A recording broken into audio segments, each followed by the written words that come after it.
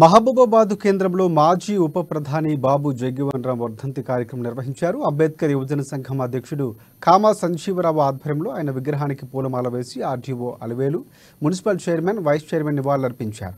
రెండు నిమిషాల పాటు మౌనం పాటించి బాబు జగ్జీవన్ రామ్కు అంజలి ఘటించారు. దళిత బహుజనుల అభ్యున్నతికి బాబు జగ్జీవన్ రామ్ చేసిన సేవలు అజరామరమని పలువురు అన్నారు.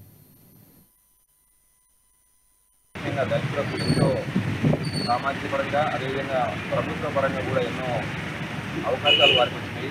అంబేద్కర్ గారు రాజ్యాంగాన్ని రాశారు కానీ ప్రభుత్వంలో ఉండలేకపోయిన వారు.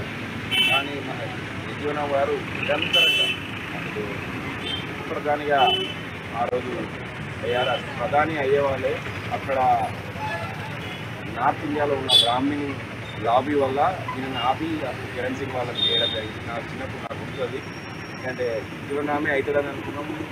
లాస్ట్ మినిట్లో కట్టిన మార్చింది.